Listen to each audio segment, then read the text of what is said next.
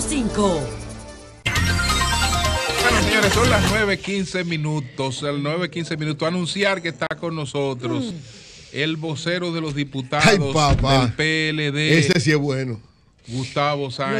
Lo de es. eh, Ese sí es bueno, Gustavo, miembro es lo del Comité máximo. Central del PLD, vocero del bloque del PLD. Él va a conversar con nosotros un poquito más adelante, pero primero vamos con el comentario de Faride. Buenos días, Faride. Muy buenos días, Julio, y al equipo y a todas las personas que están en sintonía con nosotros. Lo que pasa aquí fuera de cabina, señores, es más divertido que lo que pasa en el aire. Realmente. Ay, Lo si que saliera pasa al aquí aire. Fuera de cabina, aquí se Aquí queda. se ¿verdad? queda, aquí se queda. Miren, varios temas que quería tocar. Y a propósito del comentario de Eury, yo quería recordar que realmente aquí se han hecho denuncias y se han sometido denuncias importantes ante el Ministerio Público para que sean investigadas con pruebas y el Ministerio Público no ha hecho ningún intento por investigar absolutamente nada, que el Partido Revolucionario Moderno en dos ocasiones sometió dos denuncias con relación a financiamientos de la campaña, con relación al tema de las contrataciones públicas hechas a Joao Santana y a Mónica Moura desde el Palacio Nacional. Para que se investigara y que nosotros desde la Cámara de Diputados hemos sometido solicitud de interpelación con pruebas para que funcionarios, en su momento Gonzalo Castillo, exministro de Obras Públicas, fuera a dar respuesta a muchas inquietudes que teníamos con relación a contrataciones que se habían hecho y lo hicimos con el procurador y también lo hicimos para que se designara una comisión de investigación, porque en el caso particular de quien les habla, aparte de comunicadora, soy diputada y el rol que me da la Constitución de la República como diputada, porque no soy fiscal ni soy jueza, es solicitar comisiones de investigación para que en su rol de fiscalización el Congreso Nacional pueda hacer lo que tiene que hacer. Y todas esas peticiones nos fueron negadas. Como Eury no es juez ni fiscal, entonces pues tampoco puede aseverar que no hay absolutamente nada. Yo creo que todas las solicitudes de investigación deben de hacerse, sobre todo en estados democráticos. Pero bueno, hablando de este tema y, la impunidad, que siempre va a ser un tema latente hasta que logremos construir una mejor democracia, este, Eury hablaba de Temo, Temo fue sometido a la justicia y fue de los que dijo que recibió dinero de la compañía Odebrecht. Luego fue sacado del expediente, por ejemplo. Pero, por ejemplo, también tenemos un caso. Aunque él siempre se refirió a aportes de campaña. Aportes de Como campaña. recibieron todos los que no candidatos, lo que incluido Luis Abinader. Todos los candidatos Incluido Luis Abinader. recibido. Bueno, él, él se habló de aportes de campaña, no- no- aportes no de campaña, aportes de campaña que recibió de una empresa ligada al lavado de activos y que operaba en la República Dominicana con su oficina de operaciones estructuradas para em, hacer y ejecutar los sobornos desde un domicilio nacional admitido por Odebrecht y todo eso necesita ser investigado porque ¿dónde se separa una cosa de la otra? Pero que- ya no que- lo vamos a saber que porque no fue todo- excluido del expediente. Que no todo el que esté incluido ahí eh, es incluido con prueba, porque, por ejemplo. Pero, por ejemplo, otros que que puede haber prueba no los vincularon. Fíjate, fíjate el caso de Chubasque, por ejemplo. Claro. Fíjate el caso de Andrés, que no sé si tú Claro, y el caso de muchos diputados y senadores también que no están dentro del expediente, por ejemplo. Y caso también de candidatos y de ministros que no están dentro del expediente y que firmaron contratos importantes con Odebrecht, no están. Pero bueno, esa es la precaria justicia que tenemos en la República Dominicana, donde debe ser ciega, pero no lo es. Y un ejemplo es el que traigo en el día de hoy. Hoy vimos en la prensa, desde ayer en la tarde, vimos que la ex fiscal de Villa Vázquez, ustedes la recordarán, Lisette Núñez Peña, pues que estaba vinculada y por videos fue que la población se puso en alerta, estaba vinculada a, eh, a un caso que se dio en Villa Vázquez, en una barbería, donde ciudadanos fueron objeto de una arbitrariedad por parte de la autoridad que ella encarnaba. Y era que se veía a personas de la policía, de la DNCD, poniendo, implantando, eh, pues sobres de droga en esa barbería. Inmediatamente, pues esto se, se divulgó a través de los medios de comunicación, se sancionó eh, a, la, a la fiscal que estaba a cargo del caso y de inmediato comenzamos a conocer algunos casos más que se habían dado anteriormente donde ella misma había sido denunciada por algunos ciudadanos que entendían que había abusado de su autoridad tratando de endilgarle crímenes y delitos que ellos no habían ejecutado. Inmediatamente ella se puso a la orden de la justicia después de haberse tratado de ir del país y con una alerta que se dio, pues entonces fue detenida. Ayer vimos que se cambió la medida de coerción de la misma a una prisión domiciliaria. repito, cambiaron la prisión a prisión domiciliaria la cuestión de esta fiscal acusada de poner droga en la barbería. Y a uno le surgen muchas, muchas cuestionantes porque es una persona que está que tiene peligro de riesgo o de fuga, que es una de las condiciones que deben ser tomadas en cuenta para mantener a una persona dentro de prisión para que no se pueda eh, pues abstraer del proceso judicial que se ha iniciado en su contra. Además, este proceso acaba de iniciar. Eh, inició un proceso donde se suspendieron sus funciones, se iba del país, fue detenida por una alerta migratoria en el aeropuerto eh, la medida de coerción, que sabemos que no es permanente, que es algo instrumental para garantizar, lo que garantiza precisamente que no se sustraiga del proceso. Y conforme al artículo 234 del Código Procesal Penal, también hay que revisar todo este caso. Además, estamos hablando de una ex fiscal con poder que tiene la capacidad de seguir presionando víctimas y testigos. Y uno se pregunta, ¿bajo cuáles criterios esta señora fue enviada o se ha dado la orden de que la prisión domiciliaria sea ejecutada. La Fiscalía ha dicho que va a apelar esta decisión según lo que han publicado algunos medios de comunicación. Eh, y además, uno no, en lo que eso pasa, uno dice, ¿quién va a velar porque esa prisión domiciliaria realmente esté bajo eh, la vigilancia de las autoridades para que ella no desaparezca de la República Dominicana, como ha sido el caso de otros que han estado vinculados a expedientes bastante comprometedores en temas de narcotráfico. El mismo el caso de Quirinito, César el Abusador, en su momento Sobeida, Figueroa y otros que desaparecen. Incluso podemos hablar hasta de los pilotos, aquellos que se fueron del país después de haber tenido sanciones. ¿Quién va a velar? Porque realmente enfrente a la justicia y porque pueda hacerse justicia en contra de las víctimas a las que ella afectó desde la utilización de un cargo para el cual tenía que representar a la sociedad dominicana y para el cual tenía que garantizar derechos fundamentales. Entonces, esto es un caso que tenemos que preocuparnos, que tenemos que exigirle a la Fiscalía, no solamente la apelación, sino el seguimiento para que esta persona no se sustraiga del proceso judicial que se ha iniciado en su contra. Lisette Núñez Peña, que también debe ser investigado cada uno de los casos que en el ejercicio de sus funciones ella ejecutó previo al conocimiento de este. Y antes de terminar, otro tema importante que ya ustedes han abordado, que la gente conoce, ayer en el gabinete económico de Luis Abinader se, se juramentaron eh, pues Pedro Silverio, Jochi Vicente y Alejandro Fernández W. Eh, pues nosotros celebramos la integración de estos tres eminentes economistas al gabinete del próximo presidente de la República Dominicana, Luis Abinader, vienen a realizar aportes importantes y sumamente necesarios, sobre todo cuando el modelo económico actual está agotado y tenemos que redefinir nuevos parámetros que permitan que se mantenga un crecimiento económico, pero al mismo tiempo que se, se podamos disminuir el endeudamiento y podamos invertir de manera más eficiente en el desarrollo humano de la sociedad dominicana. Y a propósito, ya para finalizar, este próximo domingo, en horas de la tarde, encabezaremos una marcha caravana en el Distrito Nacional. Tocaremos las tres circunscripciones conjuntamente con el candidato presidencial Luis Abinader, Carolina Mejía, candidata alcalde, quien les habla, Farideh Raful, candidata senadora. Vamos a tocar las tres circunscripciones. Esto va a ser a las tres de la tarde, partiendo de la Ortega Gasset con Obando. ¿Cuándo? Y luego el domingo. domingo.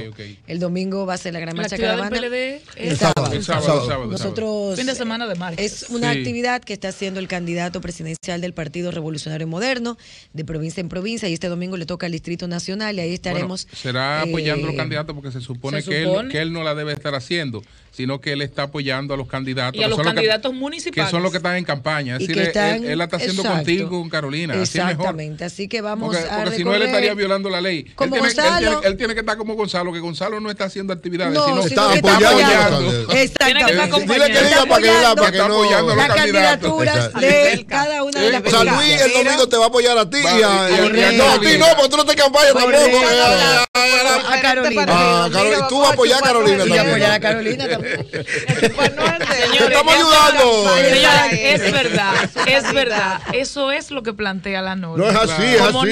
No hay campaña para el nivel presidencial, Los candidatos van a el nivel Claro. senatorial, En este momento. bajo la sombrilla del municipal, nos lo venden Vamos todos. todos a No, apoyar y Nos lo venden la todo. bandera. Es que, tú es- dices, es pero que ven nadie, acá. nadie puede impedir que Luis Abinader apoye a su No, candidato. evidentemente, a la por eso es así, eso y es si él está así, ahí, ¿eh? que se publicite. Ay, Dios Claro mío, no. esa ley, esa ley sí es un tollo grande. Pero esa Bueno. fue Oh, la que se aprobó en el Congreso Ay, y a Dios veces mío, nada más se fijan, Hubiesen nada más dejado la otra. porque nada más se fijan a veces en dos o tres puntos sin estudiar a cabalidad los demás y se No. distraen de, de algunas cosas. Pero No. Esa es la que tenemos. se había hecho un buen trabajo en la Sí, comisión bicameral sí. presidida por Karen Ricardo. Pero no Hombre. previeron algunas Entonces, situaciones. se perdió. En ese momento nosotros sometimos 12 modificaciones en el hemiciclo, ninguna fueron aprobadas para variar. Pero bueno, esas son las informaciones y con esto culmino mi comentario convocando a la- los miembros del Distrito Nacional, dirigentes, militantes y personas que están a favor de estas candidaturas para que nos acompañen este domingo. Bien, tenemos a Ramón Carbona que tiene una información sobre un contrato, buen contrato, Carmona. Buenos días, Bueno. adelante, Carmona. Sí, buenos días a todos. ¿Cómo tú estás? Pero, pero habla alto, que se Aló. entienda. Ah, no, no, porque ahorita, en estos días tú me agarraste durmiendo, en estos días con lo de David, y, y por eso era que se escuchaba así.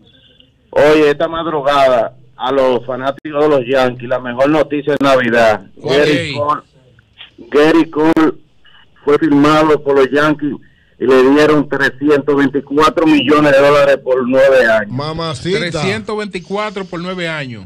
Este contrato es uno de los más grandes que ha estado en la Grande Liga, aparte de, de, de, de otros jugadores. Para que tengan un- una idea, Sí. El, el estadio de Anaheim costó 325 millones de dólares, es decir, que él está ganando un millón menos de lo que costó el estadio de Anaheim. Ok. ¿Entiendes? Julio, Sí. un consejo a las madres, a los padres. ¿Cuál es? a los muchachos jóvenes que no quieren trabajar y quieren estar en una fantasía grande.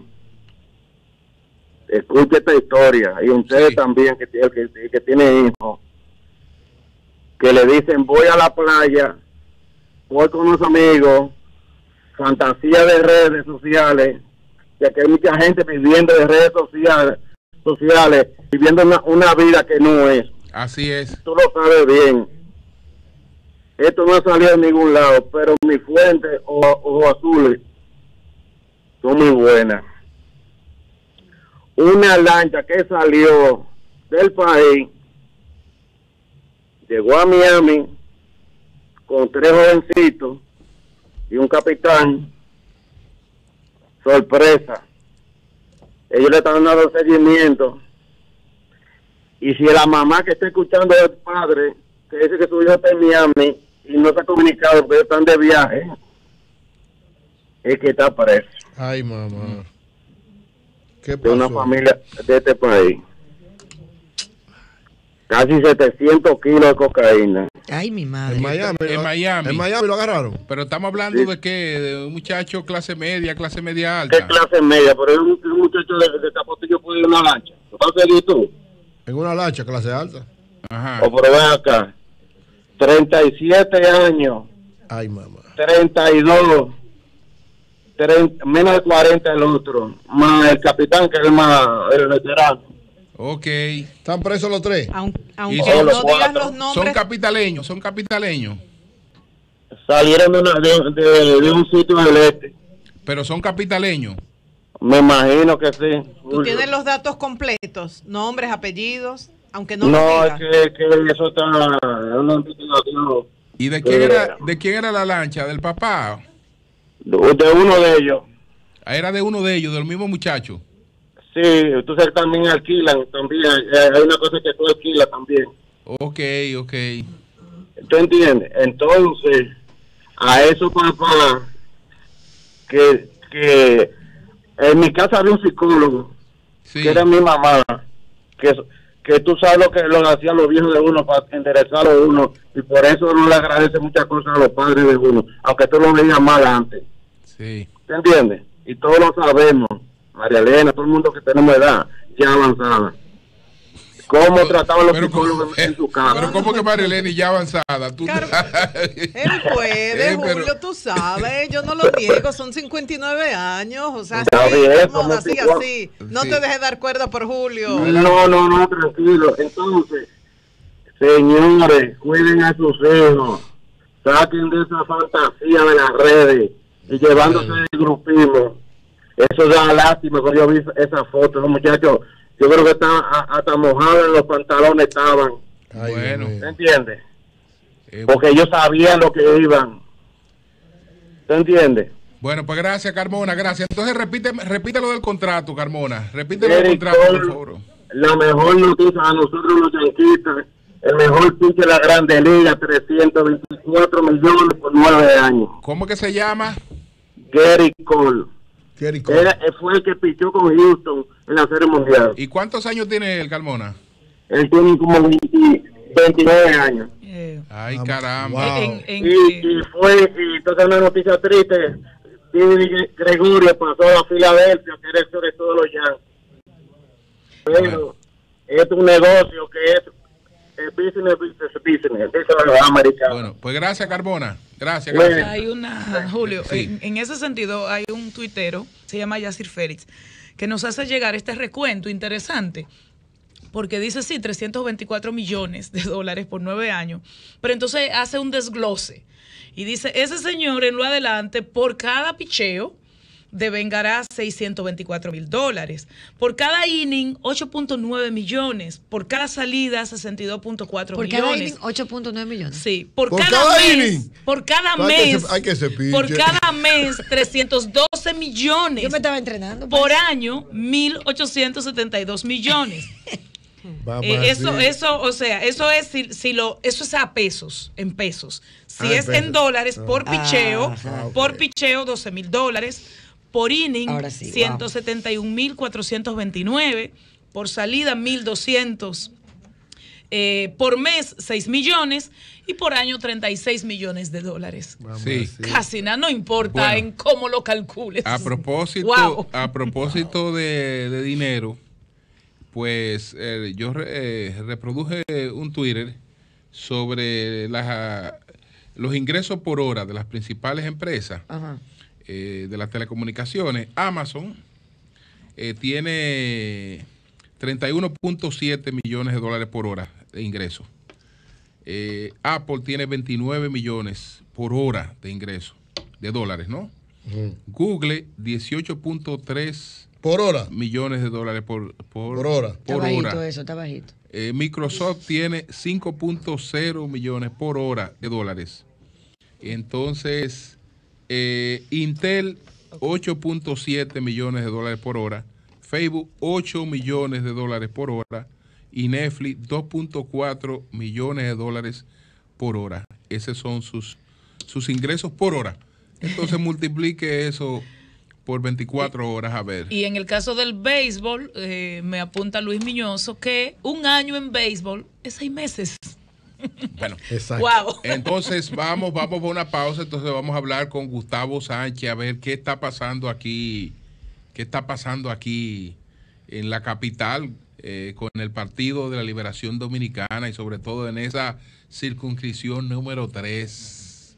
Cambio y fuera.